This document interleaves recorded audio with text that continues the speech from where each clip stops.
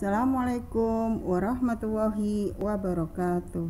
Selamat pagi semuanya siswa-siswi LMTS Al-Amin Banturung Semoga di bulan suci Ramadan ini kalian semuanya selalu dalam keadaan sehat Sehingga tetap semangat dalam belajar Sebelum kegiatan pembelajaran kita mulai, marilah sama-sama kita membaca basmalah. Bismillahirrahmanirrahim. Berjumpa lagi dengan Ibu Yuni dalam pembelajaran ilmu pengetahuan sosial kelas 7 dengan materi pembelajaran yaitu pengaruh Islam terhadap masyarakat di Indonesia. Tujuan pembelajaran Peserta didik mampu menjelaskan pengaruh Islam terhadap masyarakat Indonesia. Perjalanan panjang sejarah bangsa Indonesia menjadi pelajaran penting dan pedoman hidup buat generasi di masa sekarang dan generasi berikutnya. Sejarah atau peristiwa dari masa praaksara Hindu-Buddha, hingga masa Islam telah banyak membawa pengaruh dalam berbagai aspek kehidupan yang ada di masyarakat khususnya di Indonesia. Di masa Islam juga terjadi suatu perubahan, perkembangan, pengulangan maupun kesinambungan di berbagai aspek kehidupan dalam masyarakat Indonesia.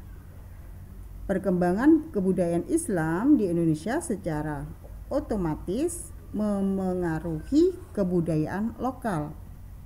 Akulturasi kebudayaan terjadi hampir di semua bidang kehidupan. Berikut pengaruh Islam terhadap berbagai bidang kehidupan masyarakat Indonesia. 1. Pengaruh dalam bidang politik. Pada masa Hindu-Buddha, kepala pemerintahan itu dipimpin oleh seorang raja dengan konsep yaitu kerajaan. Sistem pemerintahan kerajaan adalah sistem waris atau putra mahkota. Setelah kerajaan-kerajaan Hindu dan Buddha mengalami kemunduran, kemudian digantikan dengan peranannya oleh kerajaan-kerajaan yang bercorak Islam. Pada masa Islam, sistem pemerintahan di sini digunakan yaitu perbedaan dalam sebutan raja. Dalam kerajaan Islam, sebutan raja itu menjadi sultan. Dan pada dasarnya pengendalian kekuasaan yang menerapkan nilai-nilai ajaran Islam. Kedua, pengaruh dalam bidang sosial. Pada masa Hindu-Buddha berlaku sistem kasta yang secara tegas di sini membedakan masyarakat ke dalam empat golongan. Empat golongan tersebut yaitu kasta Brahmana, kasta Ksatria, kasta Waisya, dan kasta Sudra. Tetapi setelah Islam masuk sistem kasta memudar karena dalam ajaran Islam itu tidak menerapkan sistem kasta. Meskipun demikian, dalam kehidupan sosial di, di masa Islam di sini ya masyarakat sangat menghargai dan menghormati kepada kelompok masyarakat tertentu dengan sebutan di sini ya kiai ataupun sunan di mana sebutan kiai ataupun sunan itu disebabkan karena mereka mempunyai ilmu yang lebih tinggi atau lebih baik. Tiga, pengaruh dalam bidang agama. Sebelum masyarakat Indonesia menganut agama Hindu dan agama Buddha, sebagian masih mempertahankan kepercayaan terhadap roh nenek moyang atau roh halus yang disebut dengan aliran dinamisme dan animisme. Setelah kekuasaan kerajaan Hindu dan Buddha digantikan kerajaan-kerajaan Islam. Sebagian besar masyarakat beralih menganut agama Islam hingga saat ini. Bahkan Indonesia merupakan negara dengan jumlah penduduk mayoritas penduduknya yaitu beragama Islam terbesar di dunia. 4. Pengaruh dalam bidang kebudayaan Berkembangnya kebudayaan Islam di Kepulauan Indonesia tidak langsung menggantikan dan memusnahkan kebudayaan yang sudah ada, namun lebih pada upaya untuk mengakomodasi dengan cara modifikasi dan penyesuaian terhadap ajaran-ajaran Islam, sehingga terlihat adanya kesinambungan dari hasil kebudayaan dalam proses akulturasi. Nah, di sini pengaruh dalam bidang kebudayaan. Yang pertama yaitu ada seni bangunan. Pada masa praaksara terdapat hasil kebudayaan punden berunduk-unduk sebagai tempat pemujaan manusia zaman megalitikum selalu bertingkat tiga melambangkan apa tiga tahap kehidupan manusia yaitu dalam kandungan ibu yang kedua di dunia, dan yang ketiga yaitu kematian. Pertama, kemudian pada masa Hindu-Buddha terdapat hasil kebudayaan yakni Candi Borobudur ataupun Candi Puntadewa yang juga memiliki tiga tingkatan yang melambangkan tiga tingkatan alam manusia yaitu alam duniawi, yang pertama, yang kedua, pertengahan dan yang ketiga yaitu alam para dewa. Kemudian pada masa Islam di sini terjadi modifikasi dan penyesuaian seperti ya bisa kalian lihat di sini. Setelah Islam masuk terjadi modifikasi salah satunya bisa kalian lihat itu ada atap tumpang. Nah, atap tumpang itu bisa kita lihat, bisa kalian lihat itu ada sebuah gambar atap tumpang yang terjadi di Masjid Agung Demak. Ya. Pada bangunan masjid kuno terdapat kemiripan dengan kebudayaan masa sebelum-sebelumnya. Misalnya pada Masjid Demak yang memiliki atap bersusun atau juga yang disebut dengan tumpang. Tumpangnya ada berapa di situ? Ada tiga. Dan mustaka di puncaknya.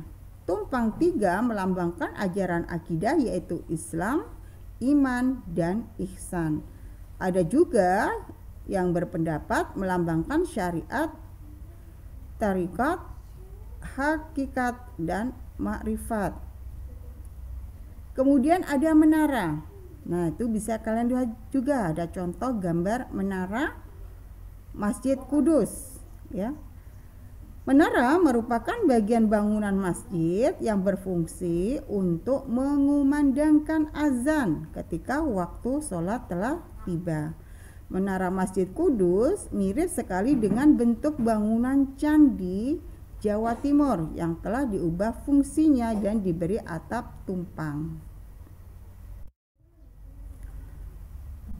Makam Kompleks pemakaman Sultan-Sultan Mataram di Imogiri berada di tempat yang tinggi yaitu daerah perbukitan, gugusan pegunungan Seribu.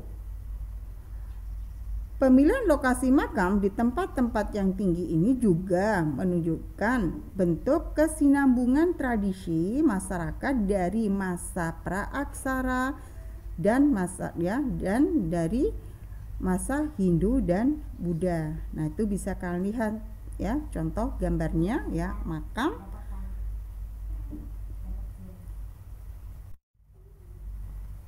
Dua, seni ukir. Seni ukir pada masa Islam merupakan modifikasi dari masa sebelumnya. Terdapat pahatan-pahatan di tiang dinding dan pintu-pintu masjid serta gapura-gapura dengan menggunakan ragas hias yang terdiri dari pola-pola dedaunan, bunga-bunga, bukit ataupun karang. Pemandangan dan garis-garis geometri kemudian ditambah dengan ragam hias huruf Arab atau juga huruf kaligrafi. Nah, itu bisa kalian lihat ya seni ukir yang terdapat di Gapura. Nah, pada masa Islam pertengahan tidak ada lagi pahatan dan ukiran patung-patung dan lukisan makhluk hidup ataupun manusia karena dalam ajaran Islam hal itu dilarang. Nah, itu tadi ya pembelajaran kita pada pagi hari ini. Sebelum Ibu memberi kalian tugas, Ibu akan menyimpulkan hasil dari pembelajaran kita tadi. Kita tadi sudah belajar tentang pengaruh Islam terhadap masyarakat Indonesia. Perkembangan kebudayaan Islam di Indonesia secara otomatis di sini mempengaruhi kebudayaan-kebudayaan lokal sehingga mengakibatkan terjadinya akulturasi kebudayaan bahkan terjadi hampir di semua bidang kehidupan. Apa saja pengaruhnya? Yang pertama yaitu bidang politik, yang kedua bidang sosial, yang ketiga bidang agama, yang keempat bidang kebudayaan. Di mana di sini bidang kebudayaan itu terbagi menjadi dua, yaitu apa? Seni bangunan dan seni ukir. Nah, ini Bu akan memberikan kalian tugas. Kalian bisa mengerjakan di rumah. Bu kasih soal ya PG 1 sampai 4. Kalian tulis jawabannya saja. Kemudian kalian upload di penilaian pengetahuan. Ingat ya, batas mengerjakan sampai dengan jam 13 atau jam 1. Nah, dari pembelajaran yang sudah Ibu sampaikan tadi, apabila dari kalian ada yang belum mengerti atau belum paham, kalian bisa langsung aja komentar di timeline kelas. Untuk menutup kegiatan kita pada pagi hari ini, marilah kita tutup dengan bacaan hamdalah. Alhamdulillah, Alamin. Wassalamualaikum warahmatullahi wabarakatuh.